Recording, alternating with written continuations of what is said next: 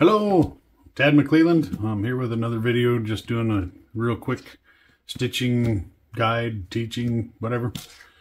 Um, this is to go along with our small project, my pro small project series. Um, yeah, we'll get going here. I've got, uh, already got a few of them going here, baseball stitch and what I call a short cross stitch or just a cross stitch um, with a double loop on the end to, to block it in. This is also another stitch, and I, I didn't explain that in my last video, but um, if, if this is the side you want to see, then this is what the backside looks like. Um, and yeah, it's just a different look. it's kind of neat, but you would obviously you put your knot on the other side, but um, you just make sure that you've doubled over every time you come through. So your starting your starting loop would be on the on this side. Whereas on this side, I should have had my starting loop on this side. So I'd had double and double on that side. Uh, what I mean is this stitch right here, there's two, two loops coming over the top. Whereas on this one, since I started from below, I've only got one loop.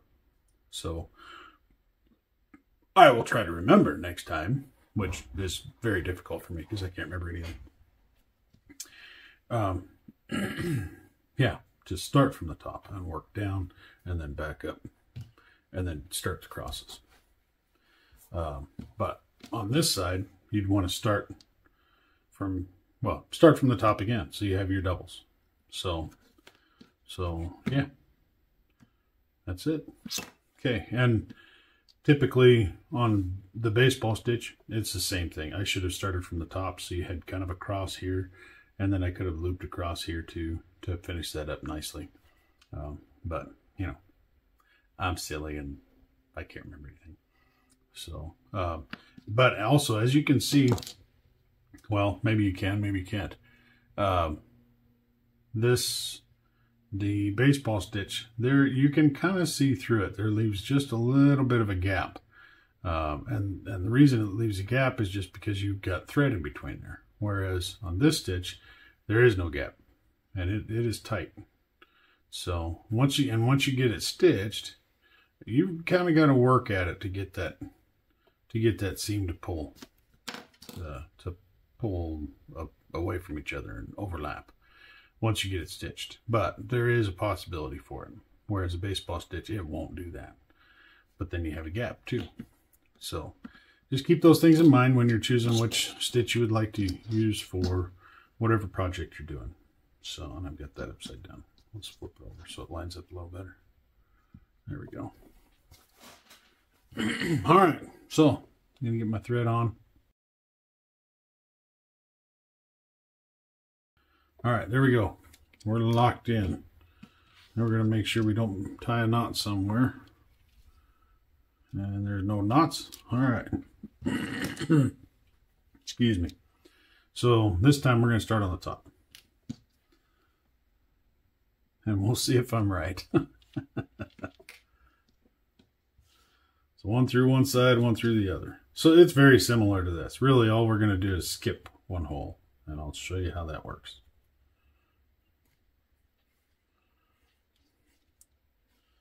All right, now we got it through both sides. And I'm going to grab both needles. And this makes, the longer the thread is, it makes it a little bit more difficult. So I grab the two needles and then just follow, follow that and pinch it right there. See how uneven it is? So now I'm going to pull. There we go. And the larger pieces you make, the more thread you're going to have to have to start with. Because um, you really, I mean, it's very hard to splice. Um, that's just the way it is. I mean, especially if you want to see both sides. Uh, very, very difficult to splice. okay, so same deal here. Um, yeah, so I need to bring my bring both my needles up again, and no, do one one full loop with one of my needles. So I'm going to pull it through just a little bit and grab my left one. Sometimes it takes a little while for me to remember.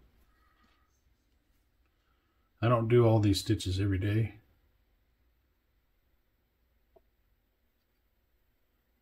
Here we go. So all the way through, oops.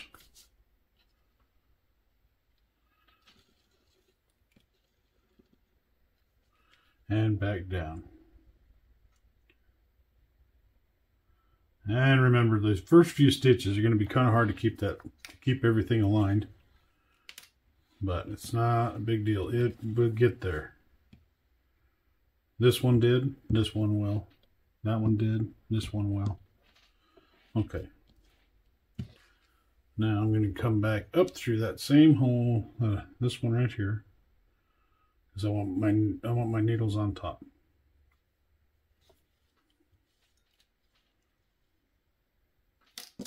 Same thing with this one. Take it up through the bottom, because I want my needles on top.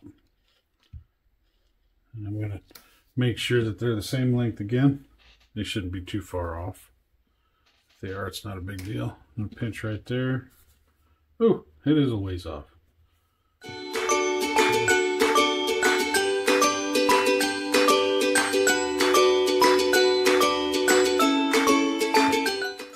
I'm gonna put a little bit of pressure on that to make sure I get this lined up. We don't want it. Put some pressure on it, pull it a little bit. Okay, so same thing. I'm going to start with the right hand side. we're going to skip one. So skip one. And then on the back, we're gonna we're gonna back up. We're gonna still gonna go across. Let me flip this over. Okay, well you can't really see it. There we go. There you can see it. So instead of going straight across, we're to go back one. So forward two, back one. And end up right there again. Same thing, left hand side. We're going to skip that first one.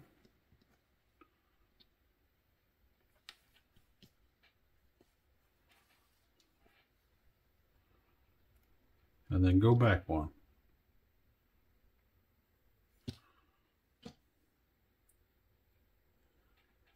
Maybe. There we go.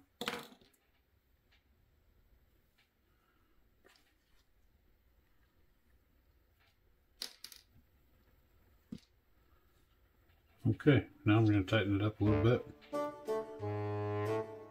So we're going to have a single cross on the back of this one. It'll, well, it'll look like this one, this the short cross. Pull that tight, pull that tight.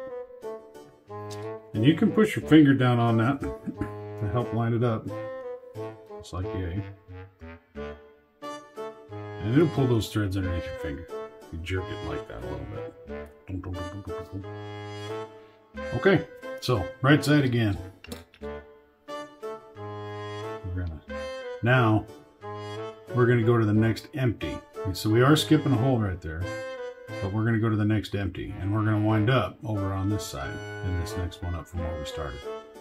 So each time now, we're going to we're going to advance one hole from where we from where we started.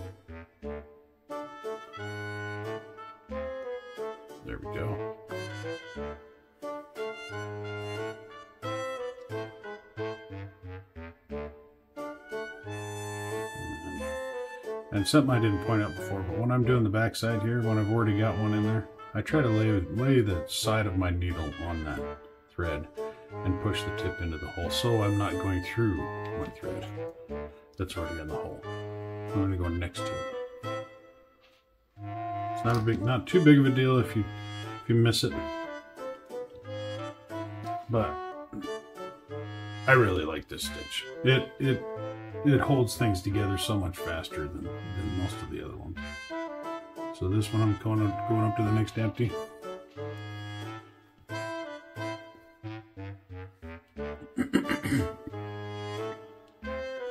and back to the first one right there. And again, I'm going to kind of push my push my needle towards the outside of that hole. As I'm pushing through, there we go. Slack. Tighten it up a little bit with my fingers. Push down on it. Give it a little tug. Tighten it up. Look at that. So much faster. So much faster for the hold. The stitching process still takes about the same amount of time. Oops. See, I did mess up. but that's another reason why I don't, why, uh, why I like to go to the outside of that hole. And so if I do mess up, I can pull my thread back through.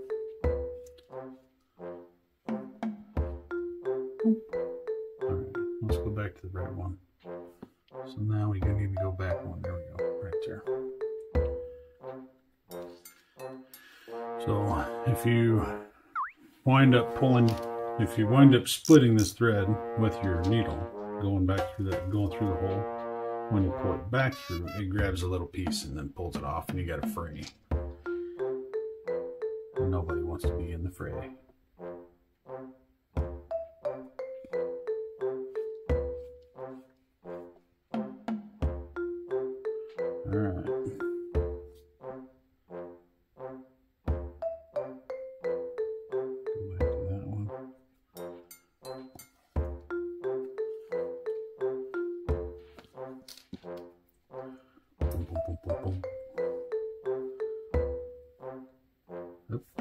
Two.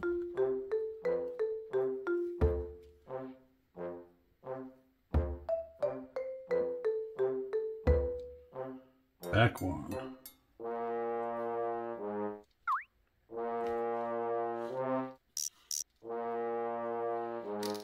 Push, tug. Up two.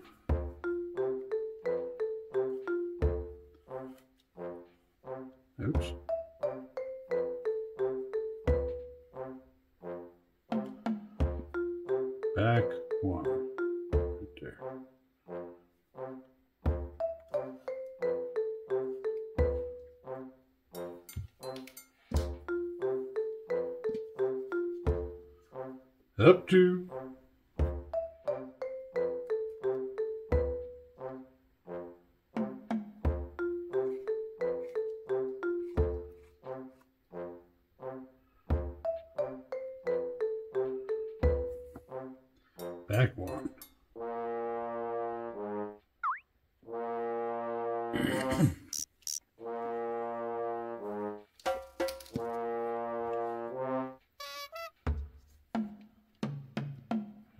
I'm going to try lining that, out, that up a little bit more now that I'm a little further. There we go. Push and tug. Hold it in tight. Okay. So I think I think we're pretty much got it there. Got a good start on it. So I'm going to go ahead and speed this up and we'll finish that up right after another sip of coffee.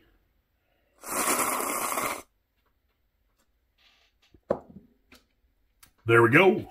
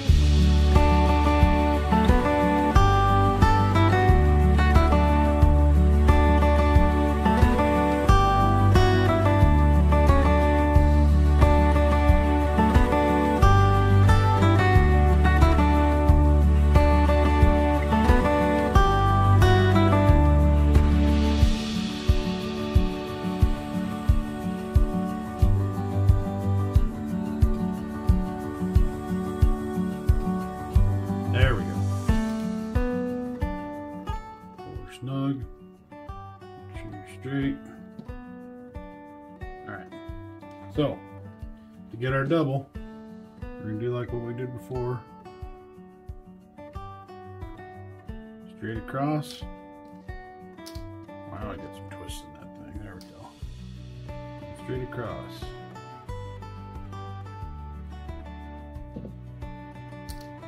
Pull it tight. Come back, snug that up. There we go. It looks pretty good. Same thing on the back here. We're to go ahead and just tie a knot.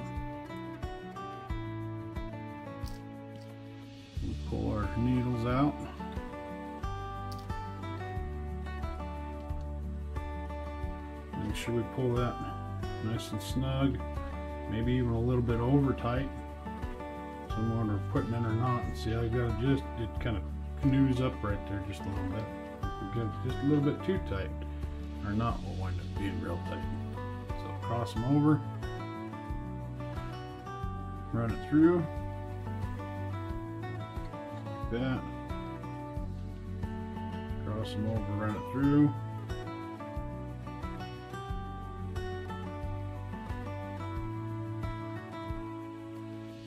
Tight.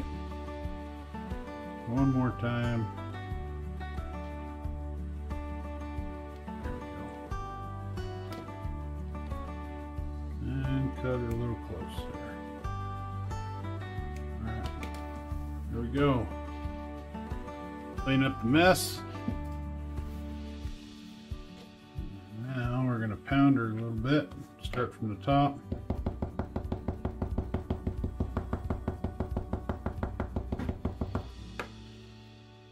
We go. All right, so there's the front and there's the back. So the the other reason I like this stitch is it does not take much more effort it doesn't take really any more effort than this one. And really, all, and all you're doing that's different is the first stitch, you're skipping a hole and going back one hole on the back side instead of one hole straight across, one hole straight across. So, and you get a good, neat looking stitch on both sides. All right. So there we go. There's another example. Um, I'm not sure which one I'm going to do next. Um, I might, we might, we might try something. Might try something different. Uh, or you can just cut out strips and practice. Um, it's and it's good to do this and keep it, and that way you have an example uh, to look at, and not just pictures online. Um, anyway, that's it. Thanks for watching, and uh, we'll see you in the next one.